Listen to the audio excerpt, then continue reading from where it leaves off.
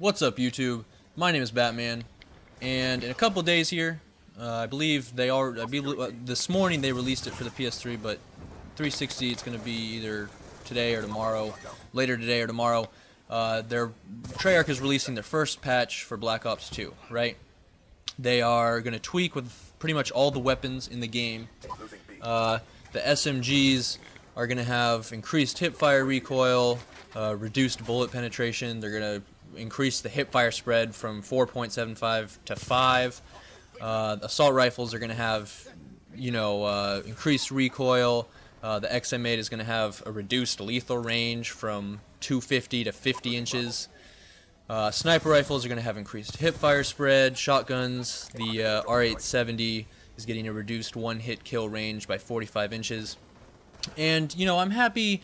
I'm happy that uh, that they're responding to the game, that they're finding little things and fixing them. Although I will say that, you know, these little minor fixes like increasing a hipfire spread from 4 4.75 to 5 I don't think that makes much of a difference in game. I don't think people are going to notice that. It's kind of like how in uh, in Black Ops 1 when they, you know, nerfed the FAMAS and it was still obviously the best gun in the game and they forgot to nerf the uh, what do you call it, the AUG H bar or just the AUG.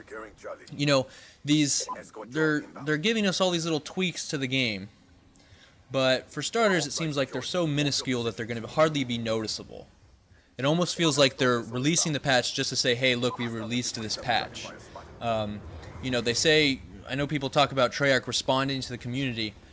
You know, I'm I consider myself a part of that community. I'm on YouTube. I'm on the forums. I don't see people complaining about uh, you know, the max hipfire spread.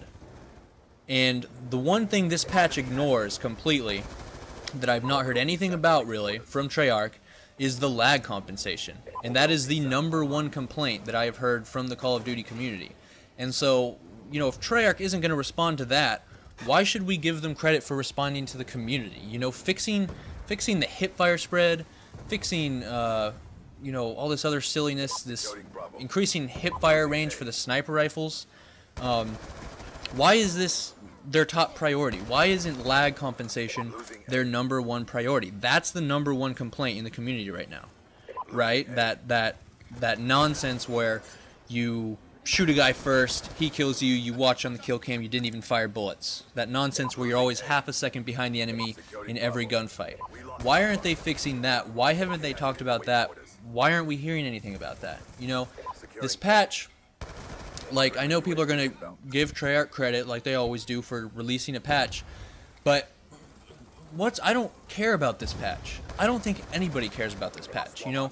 And again, you know, I'm sure there's some people who, you know, maybe have said the the the bullet penetration for SMGs is nonsense. I'm sure a couple people, not necessarily a couple people, I'm sure some chunks of the Call of Duty population have had some frustration with you know little bits and pieces of each gun just as it always is and always will be in call of duty there will always be guns that piss you off um, and there will always be instances in which you get killed in a way that seems cheap regardless of whether or not it is and maybe it was but these aren't you know these aren't the the number one concern of call of duty players right now Certainly not for me, and I don't think for anyone else. I think even the people who are really frustrated about, uh, you know, the the uh, SMGs having too much hip fire tightness, people who are frustrated that the hip fire on the SMGs needs to be widened, even they would agree that the lag compensation is the number one problem right now.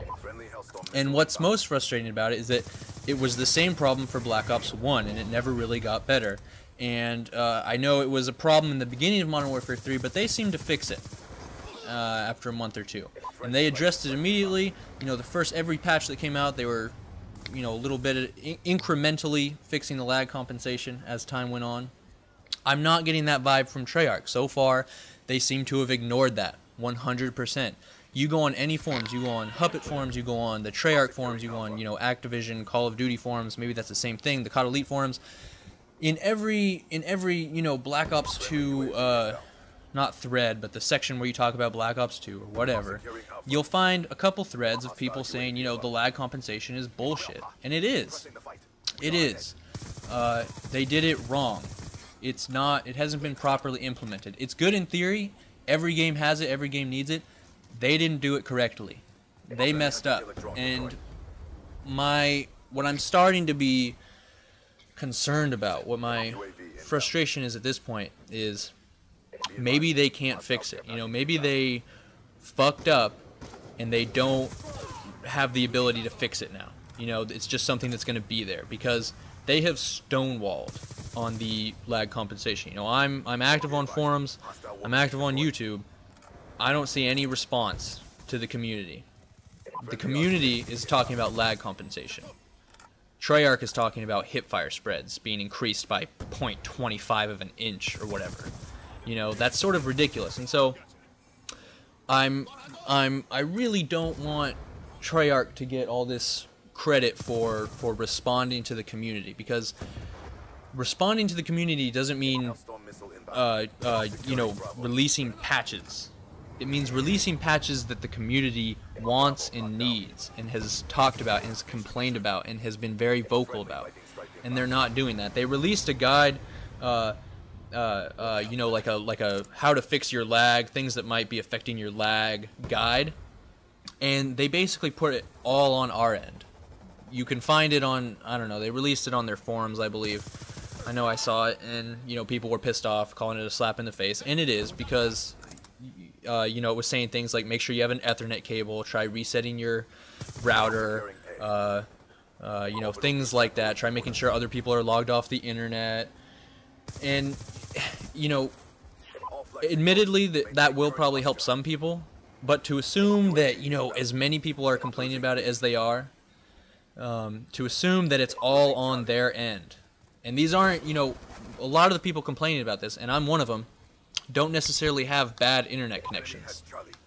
Uh, you know, and and on top of that, the people who have complained about this have probably taken steps already to see what they can do to fix it. And so Treyarch releases this thing that people have already basically found on their own because they were trying to fix the lag.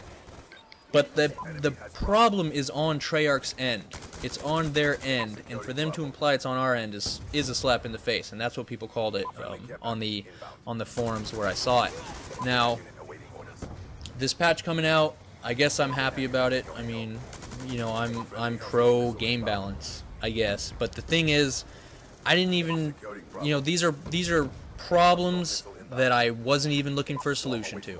I didn't even know these problems existed until Treyarch brought them up in the patch.